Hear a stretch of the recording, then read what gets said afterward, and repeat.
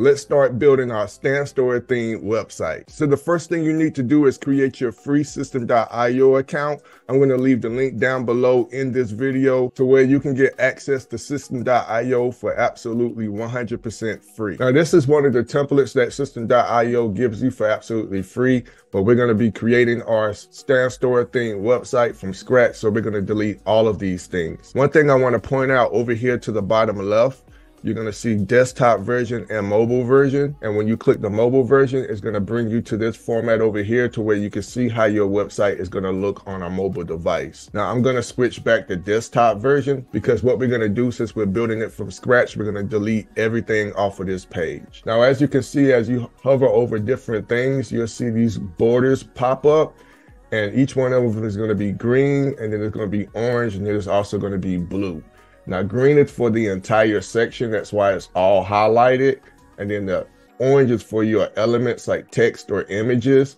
Like for right here, this is an image and then this is text and it's orange. And then we have rows like this, which is what you'll put your elements inside of. The section is the house, and then the rows are going to be like the room, and then each element is the things inside the room, like your bed or your house. Now you can delete each one of these elements individually. Say, for example, if I don't want this text, I could just hover over that element and click the trash can and click OK.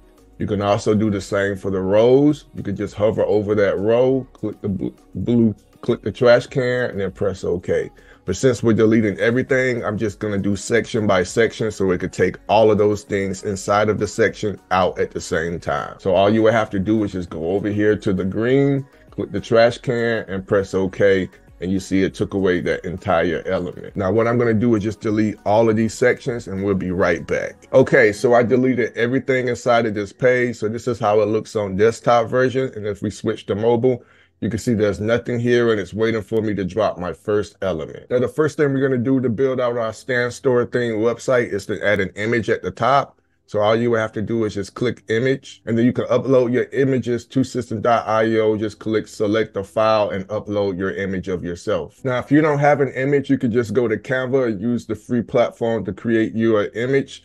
You want to make sure you use the circle frame and then upload your image to Canva, place it inside the frame. And it's going to give you that nice round border. Once you're done, just download it to your device. Once you have that image, just click select file. I've already downloaded it. So find the file on your device, highlight it, click open, and then that image is going to get uploaded to systeme.io. Once it's uploaded, just go over to your images and then find that image, which it should be the only one if you just created your systeme.io account. It's going to pop over here to the right and then you're going to click on insert. And now it's inserted into systeme.io. Now this image is way too big. So what we're going to do is we're going to come over here to our editor. You're going to make sure you're in the image mode and you're going to make sure you have that image highlighted on systeme.io as you can see the borders. And then you just scroll down to the width that you want and then you can just drag it down like so. So now that we have our profile picture, now you have to do is just make sure that you're in the element section over here and you're going to scroll down and then we're going to add another section right here and then we're going to add another row and you can just click it and it's going to pop up right up under your picture. So now that we have our row, we're going to add a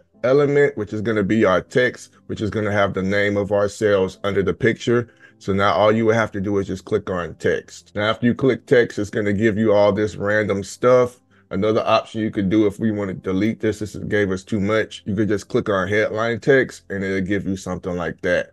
Now, once we have that, we're just to just slide it up right up under our picture, and then we can delete this right here. Now, here's where you would want to put your name. So all you would have to do is just double click it, and then it's to highlight, and then you can just key in your name. Once you do that, it should be right up under your picture. And right now we're making tons of progress. The next thing we're to do is put our title or our expertise up under our name. So all we would have to do now is just repeat that process. And there's two ways you can do this. You can click duplicate and then it's just going to make a copy of what you've already done or you could just come back over here and just click on headline text again and it appears right up under what we've already done all right so these fonts are a little bit too big so i'm going to make sure this is highlighted and then i'm going to come over here and just make it a little bit smaller so now that we have a few of our elements like our image and our text here we're going to change the background color. Now you can leave it white, but I'm just going to give it a little color to make it pop. So what you would have to do is just come over here and you're going to click settings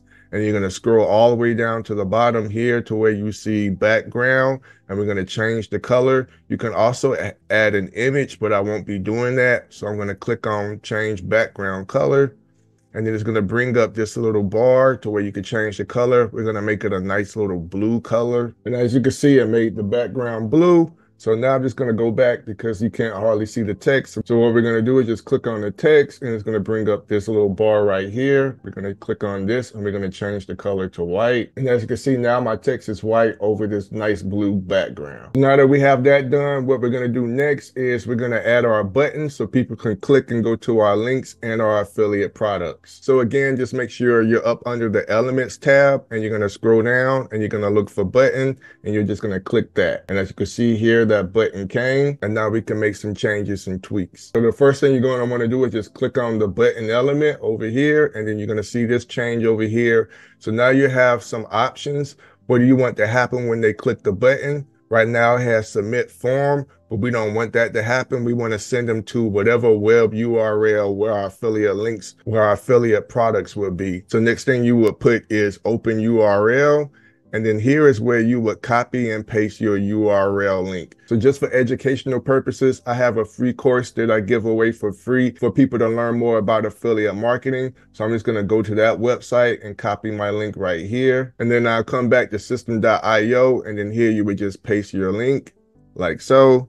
And you're going to want to press enter. Now I don't like what the button is saying. So what we're going to do is just change the text on here. So once you click the button, all you have to do is just scroll down and you'll see the typography and then you can change the text. So while we're here, I'm going to make some other changes to this button and I want to change the color of the border and then I want to change the color to white. And as you can see, there's a little border around the button. Then once you have the color you want, you can just click off and then it's going to be set. All you have to do now is just click on duplicate and it's going to make copies of all your buttons and you can do as many as you like. And then you can repeat these steps any type of way that you want. It's good just to do the first button, set it to how you want. So all you got to do is just change the links in the text. Now, one last thing we got to do, you see how the color is cut off and it's white at the bottom. All you're going to want to have to do is just go up here and cl click that section and you're going to want to click on settings. And then once it opens up the settings over here to your left, you're going to want to go down, go down to the, the padding right here and then you're going to go to the bottom and just put it all the way down like that. Once you have everything set the way you want it, you want to click save changes.